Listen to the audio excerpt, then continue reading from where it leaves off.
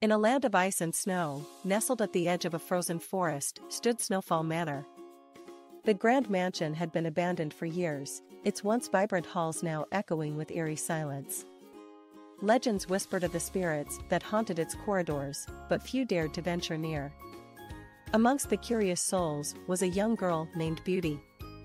With her rosy cheeks and twinkling eyes, she possessed a curiosity that knew no bounds. One snowy afternoon, as she wandered through the forest, Beauty stumbled upon the grandeur of Snowfall Manor. Intrigued, she pushed open the creaking doors and stepped inside. As Beauty explored the mansion, she felt a chill in the air that sent shivers down her spine. Unbeknownst to her, she had a unique gift, the ability to see ghosts.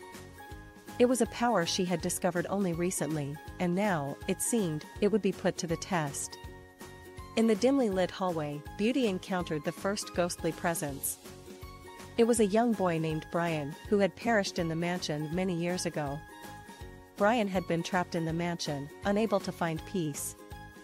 He pleaded with Beauty to help him solve the mystery of his untimely death.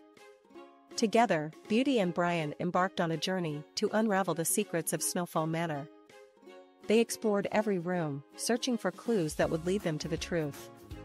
With each step, the tension grew, and the presence of other restless spirits became more apparent. In the dusty library, Beauty stumbled upon an old journal. Its pages revealed a dark tale of betrayal and revenge.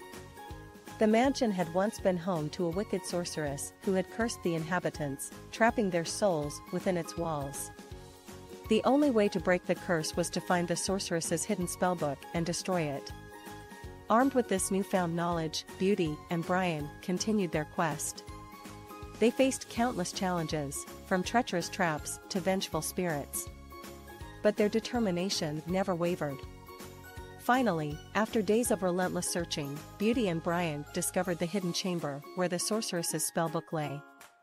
With a trembling hand, Beauty reached out and grabbed the book, feeling a surge of power coursing through her veins.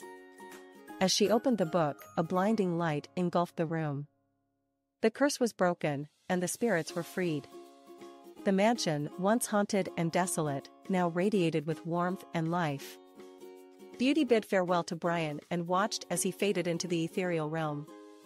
She knew that her gift would continue to guide her on new adventures, but for now, she was content knowing that she had brought peace to Snowfall Manor.